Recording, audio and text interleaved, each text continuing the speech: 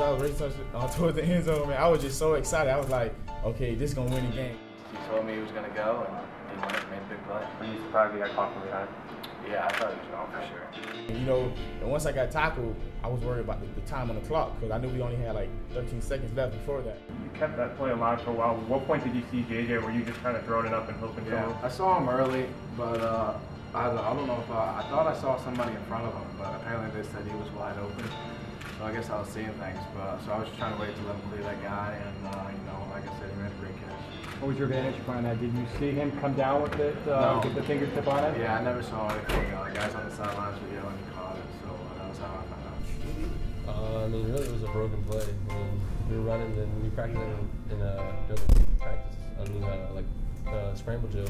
I mean, I, had, I was at the route where I had to go deep, and I mean, he was able to evade the tackle and got outside. And I just kept running through it, and somehow I got a hand on it and came down with it. Where does that throw catch rank for you? Yeah, um, that's up there. Definitely up there.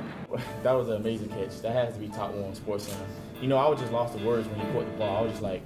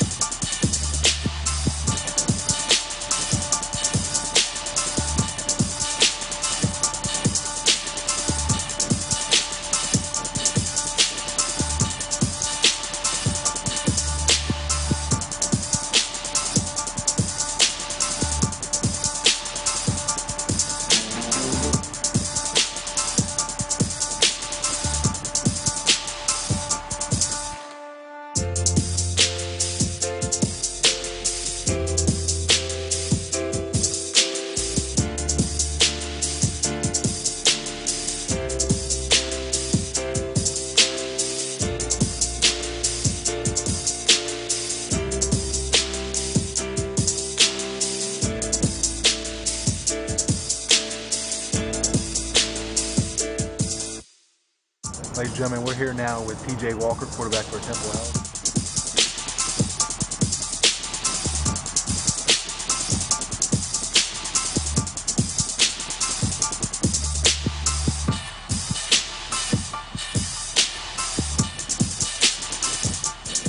Talk about your two touchdowns today. My two touchdowns for a guy like thank God for that. And I just he did put the ball in the middle, so you know, I just had to make it happen.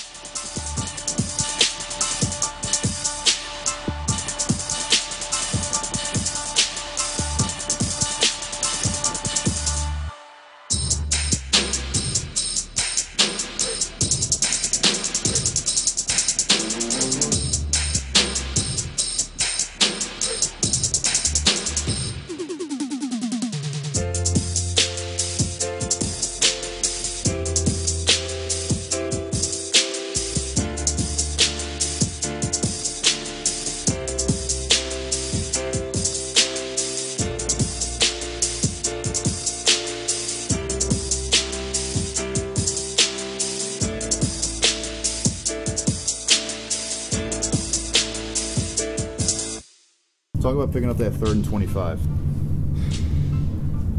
It was basically they dropped they dropped eight, and I usually- I watch a lot of film and they don't cover the middle of the field when they drop eight, so I just tucked it and ran.